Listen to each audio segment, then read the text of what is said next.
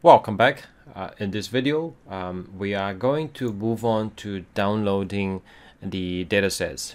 Just as a refresher on what we have covered so far, we have navigated the Spyder and Jupyter Notebook and now you should be familiar after the previous video.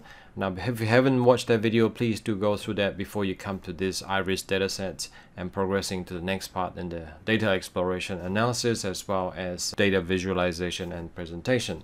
So in this video, we are going to um, show you where you can go and download the IRIS datasets. Naturally, I will also provide that to you uh, in the actual um, uh, so-called link itself, the course link itself, but I just want to show you in, case that you want to uh, look at other data sets.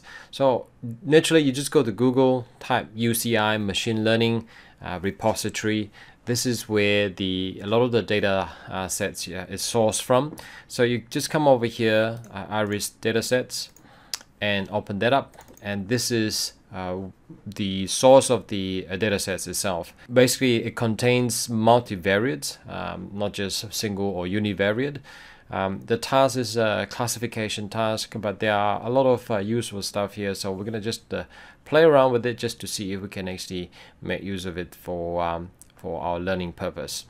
So there are quite a lot of uh, citation that make use of this. It is a really uh, popular and very common database that uh, that you can actually or people use to actually illustrate a few concepts.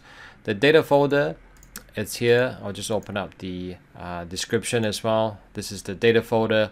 Uh, there is the names and this is you where you download the data itself. So these are the actual description. It's really really important to read the description. Now in this part here, there are actually 150. Uh, I'm going to show you. Um, how to actually extract that uh, and uh, look through that in details. Let's download the data. Okay, so let's just save this.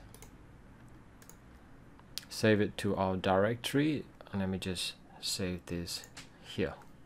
So I'd like you to actually give this a try yourself and try to download the data uh, yourself and, uh, and store it in the same folder or same directory that we were not working on. Um, of course, you save it into your project directory uh, so that we can actually access it in the next video.